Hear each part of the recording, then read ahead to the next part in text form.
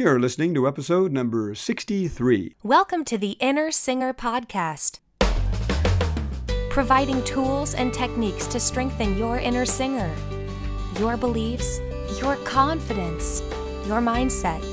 And now, your host for the Inner Singer Podcast, Mike Goodrich. Well, hey there, everybody. This is Mike Goodrich with the Inner Singer Podcast. Thank you so much for joining me today. I'm thrilled to be doing this again. You know, uh, this one's coming a little bit more of a distance between the last one and this one than I wanted there to be, but I've been real busy with some some really fun, cool ideas that I think will um, I'll bring you up to speed on as at, at some point because at some point I, I want to get everybody's ideas about some of the things that I have planned.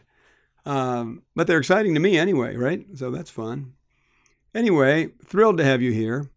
Want to do a little just a short podcast today. And, you know, I know I say that all the time and then it ends up going long, but I have a feeling this will be a little bit shorter. I'm trying to keep them a little bit shorter because I like that to be the new format a little bit because then I feel like I can get more I can get more out to you. So anyway, let's get started with this. I hope you're all well. I hope you're better than well. I hope you're doing great actually. I hope your singing is going beautifully and your inner singer is supporting you with uh, with dialogue and inspiration that is supportive to you we want to get that inner singer on our side, right? Because um, that's like an iceberg, that's the under part.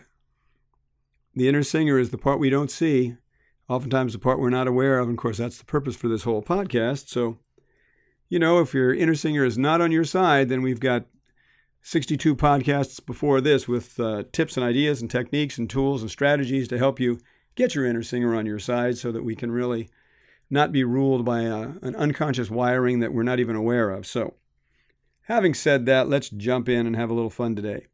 You know, I want to talk a little bit about my interpretation and my, um, oh, the kind of the way that I would teach the old 80 20 principle. I'm sure a lot of you have heard of Pareto's 80 20 principle, meaning usually they talk about it, oftentimes they talk about it in, in business or, you know, different circles. And uh, basically, it is that, and it's really tested quite a bit, that 20% of your effort yields 80% of your results. And so when they're talking about it in business and things like that, then they say, what are the 80%? What's the 80% of things that you're doing that are that are yielding the remaining 20%? And get rid of those. Get somebody else to do that and just do the 20% because that's yielding 80% of your results, right? And that makes that makes sense from a time constraint, right? That we do what is working for the majority of the time. And let me kind of put that into the singing world for us right now because the way I look at that is this. First of all, let me tell you a quick little a very very quick story. When I first started teaching, it was uh, it, it was this is funny actually. I first started teaching back in about 91. I think that's the first time I ever took money for a lesson, a voice lesson was in 1991. So that's 26 years ago. That's a long time. So I've got quite a bit of experience doing this and um and taken in a, you know a, a decent amount of money having done it. But the first time uh, the first few lessons probably for you know a month or two I was really conscious of uh, wondering if people liked my teaching, if they felt like they were getting value, if they felt like they were getting anything out of it. Of course, I still feel that way, but you know, but now, luckily, I have the confidence and the, the track record to to know that they're getting something out of it. So, but back then, you know, I, I thought they were, I thought I was doing pretty well. I thought they were getting something out of it, but I would always ask this question at the end of the lesson. I would say, "So, how did it feel today? How was how how was your lesson? Did you did you did you enjoy it? That was my main thing. You know, did you enjoy it? Did you have fun? And it's so funny because for the first month, the common responses were two. Either the first one, the first response, and these always surprised me. And then, you know, when I found out what was going out, in the, you know, out on out in the singing world, um, it began to not surprise me, and I, I started hearing it, you know, all too many times. But the two answers I would get are these. Person would say, "Well, yeah, it didn't hurt," and I would just kind of laugh and shake my head and say, "Well, well, that's good. I guess that's really good that it didn't hurt." You know, that's That's certainly a step in the right direction. The other one was, well, yeah, you didn't make me cry. And so, you know, and I, that one would always make me laugh. And I'd say, okay, well, that's, yeah, that's probably really good because the two things that I really want least for you in a lesson is for it to hurt physically or for you to just start crying because you're so upset that I'm, you know, driving you crazy or something. So I thought I thought that those were really really funny. But then, you know, it, what it did and over the past 26 years as I have inherited students from from teachers that you know are basically working out their own stuff on their students they're discouraged or angry about something and taking it out on their students for one reason or another and they and of course you know most of them don't know they're doing this and what happens is they begin falling into the trap of doing the exact opposite of, of what I do and what I teach and what I'm talking about, what I'm going to talk about in this podcast, and that is this. When you're singing, when you're vocalizing, I want you, if you don't do this already, I want you to adopt a new philosophy of the 80 20 principle. And what I want you to do is this version of it. I want you to do what works really well for you 80% of the time. And then begin working the other 20% in the 20% that doesn't work so well. So figure out whatever exercises work for you.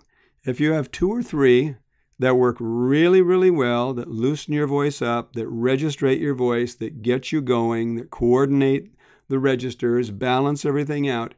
Do those most of the time, 80% of the time, and then start sneaking in the other. Now, what I find out there quite a bit, not as much anymore because I've been involved for years in training teachers and some of my buddies and Uh, and colleagues in, in past organizations that are really wonderful teachers have also at that level been training teachers all over the world. So there are literally now literally hundreds and hundreds of, I would say, probably pretty darn qualified teachers. They don't have my experience and they don't have some of my friends' experience because they haven't been doing it 26 years. But they're really, really good. And they're affordable, you know? And sometimes I'm really not that affordable. And sometimes my friends aren't that affordable, right? Because they work at a higher level and so do I. But that's not what this is about. What this is about is back in the day before there were really hundreds and hundreds and hundreds of, of, pretty darn good teachers out, there were a lot of really awful teachers. And I'm sure they are now. And nobody's doing it on purpose. And believe me, before I knew what I knew, I, I, I, I taught some lessons years and years ago that I didn't take any money for. But I think back now and I think I should really look these people up and, and apologize to them. Because I was doing just the same old garbage that you hear about and trying to make it work. I didn't know about registers. I didn't know so much I didn't know. So I'm not saying this with a malicious attitude at all. I was right there with them. I didn't know anything. And I still have a, a ton of things to learn. And so, so do my colleagues that are amazing. We keep discovering things all the time. That's one of the fun things about this. But anyway, the point is what I would find is that these teachers out there would focus 80% of their attention and energy on the student and work on things that were not working well. Hence, the students would oftentimes experience physical pain and they would also get very upset emotionally and a lot of them would would would react by crying obviously that finally taught me and I began to to put two and two together and figure out wow this is why it hurts them and this is why they're crying. Because they're being beaten up in lessons. They're being hammered 80% of the time with stuff that doesn't work.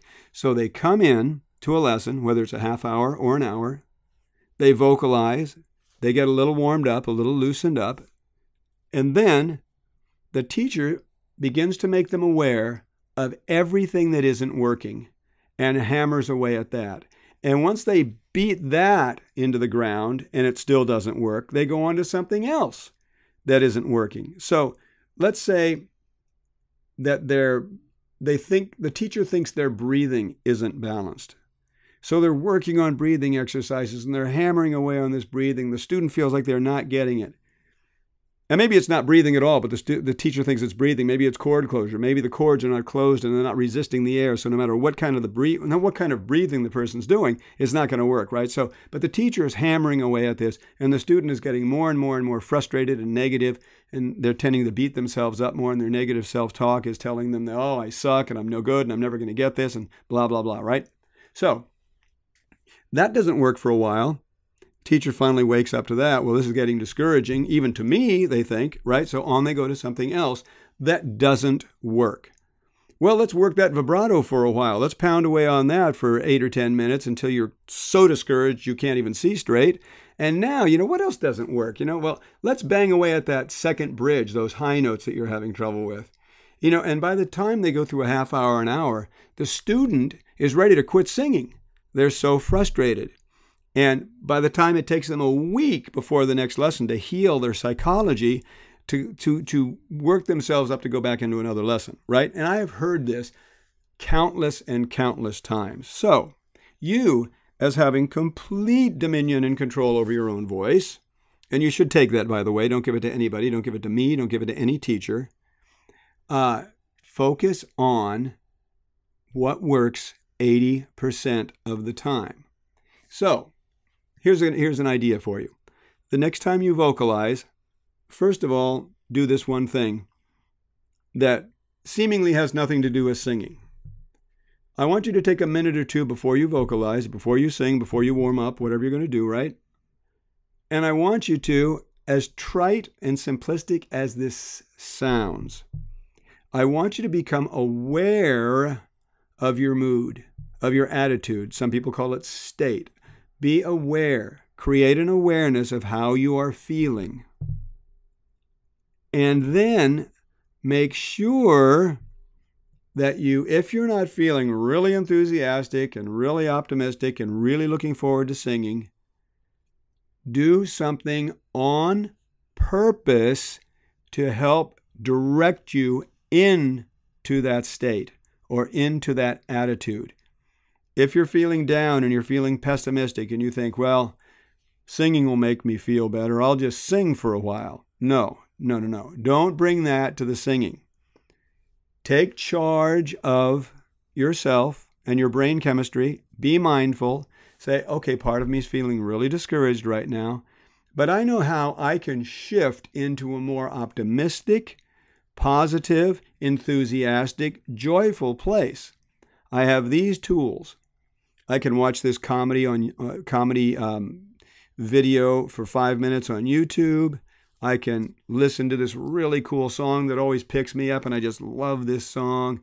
I can think of this person that I love. I can think of this moment in time. I can think of this thing that I'm working towards that excites me. You know what it is. I don't know what it is for you. I know what it is for me. But whatever it is for you, find what it is and use that and raise your vibration. I know that sounds a little woo woo, right? But what the heck? I don't care. Be, let's be woo woo, right? Raise your energetic vibration. Do a power pose. Google power pose. YouTube. Go on YouTube and look at Amy. I think Cuddles or something like that is her is her last name. Um, and and and uh, put in YouTube power poses, and do a power pose for two minutes. You know, stand like Wonder Woman, or or Superman, um, and there are, there's some others.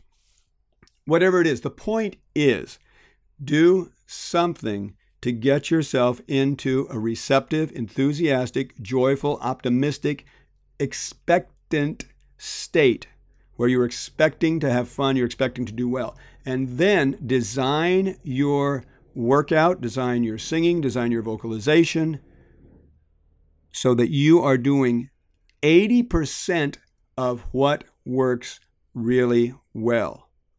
Now, if you're thinking right now, gee, Mike, nothing works really well. I don't have 80% of anything that works well. Well, find out what works best and do that.